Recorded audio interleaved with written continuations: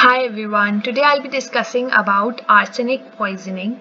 In this PPT, I'll, I have discussed introduction, the toxic compounds that arsenic forms, how it works or the action, two types of poisoning, acute poisoning and chronic poisoning, treatment and the medical legal aspects.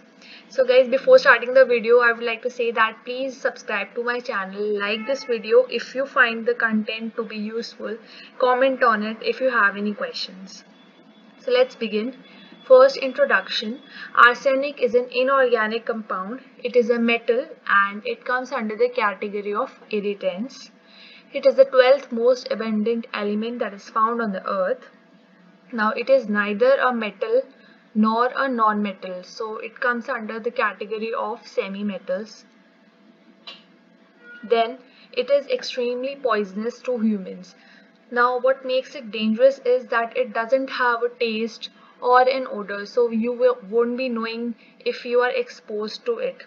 Okay? So that's what makes it quite dangerous.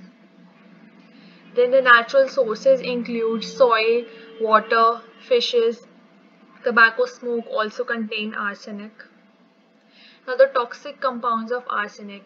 Arsenic can form bonds with oxygen, sulfur. So there are different compounds. First with oxygen, arsenic oxide is formed or which is also known as arsenic uh, trioxide. Now this is the most toxic form of arsenic in common language, it is also called Sankhya or Somalghar. This arsenic is white in color, so it is also known as white arsenic.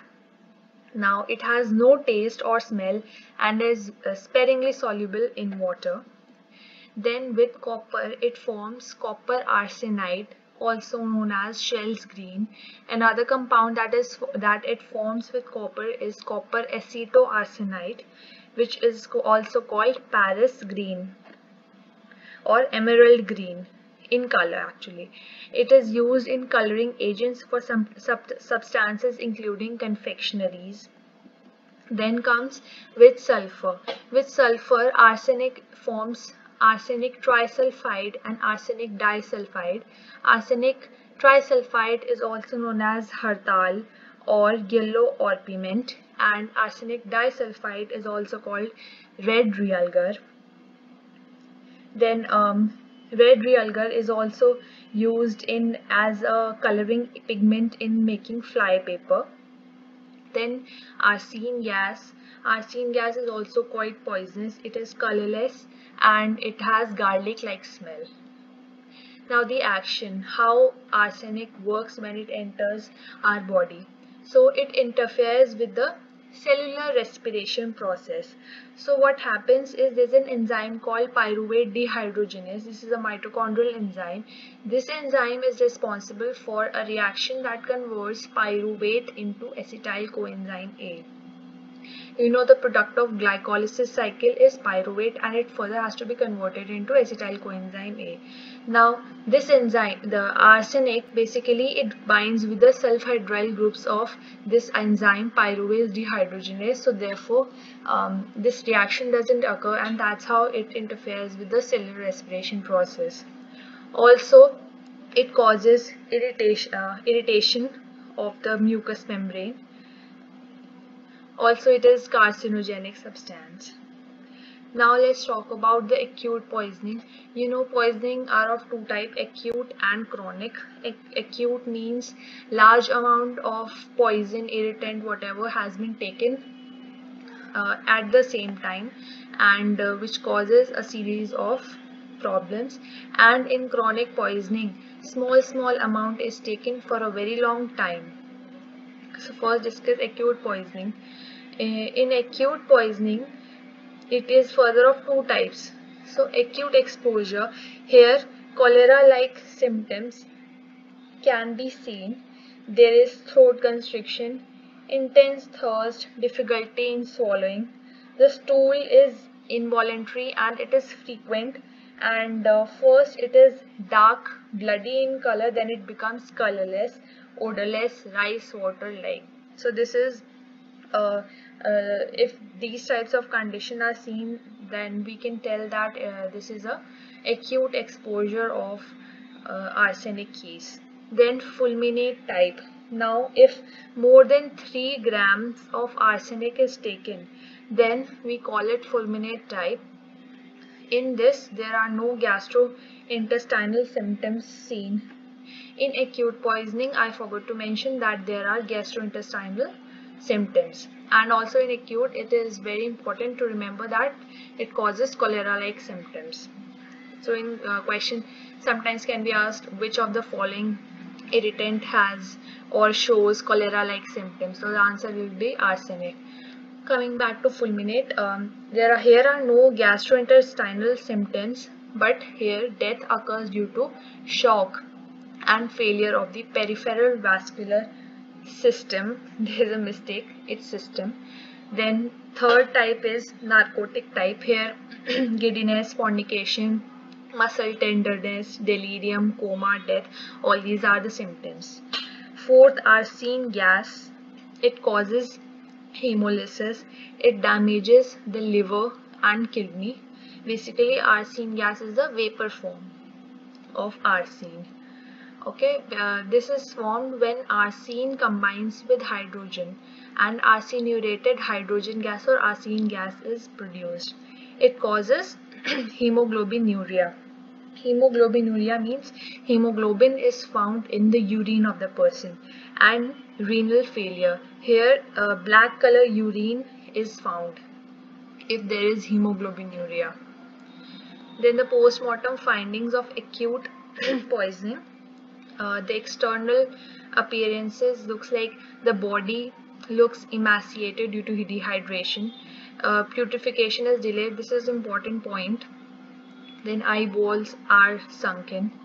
Internally if we see the mucous membrane of mouth pharynx and esophagus may show inflammation now uh, another important point is red velvety appearance of stomach is seen in arsenic poisoning cases. A mass of sticky mucus covers the arsenic particles. Lungs are congested, petechial hemorrhages are seen in the ventricle of the heart, uh, liver, spleen, kidney are congested. Then chronic poisoning. Now there are six uh, different uh, and important symptoms that are seen during the chronic poisoning. First is the raindrop pigmentation. Here brown color pigmentation is seen on the skin and shoulder so since there are drops seen, it is known as raindrop pigmentation. Next comes hyperkeratosis. In hyperkeratosis, there is increased amount of keratin that is deposited. So because of that, it is deposited on the nails. Okay, so because of that, there is excessive irregular thickening of the nails. Next is leukomelanosis.